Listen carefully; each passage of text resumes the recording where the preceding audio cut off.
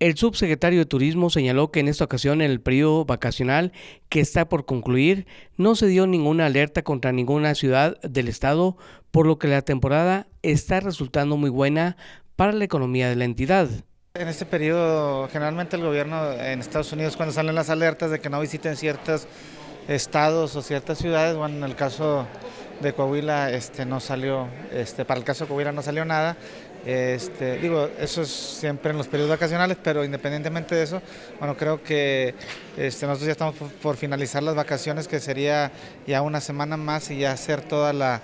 eh, recolección de los datos estadísticos a través de las cámaras, tanto de hoteles como eh, de las asociaciones, las OCBs, para, para junto con la información que tenemos nosotros hacer este, bueno, el, el dato final de cuántos visitantes llegaron a Coahuila y cuál fue la derrama económica. En lo que hace a la derrama económica señaló que se espera una importante cantidad.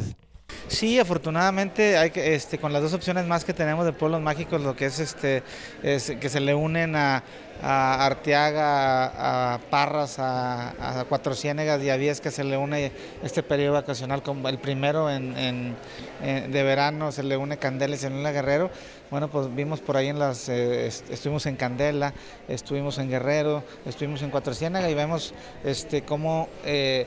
eh, se, abarrotó, se abarrotaron los, los los pueblos mágicos y bueno, este, con dos opciones más, yo creo que fácilmente, si es que no ya pasamos la meta que teníamos nosotros para este periodo vacacional, que era un millón de visitantes. Pues yo creo que, este, bueno, nosotros nos pusimos una meta de alrededor entre 800 y 1000 millones, un 20% más que eh, en comparación al año pasado, este, pero pues estamos viendo bien, estamos viendo que eh, hablamos con los alcaldes tanto de Parras también como de Cuatro Ciénegas y 100% de ocupación hotelera. Con imágenes de Carlos Hinojosa, RCG Noticias, Carlos Castillo Borja.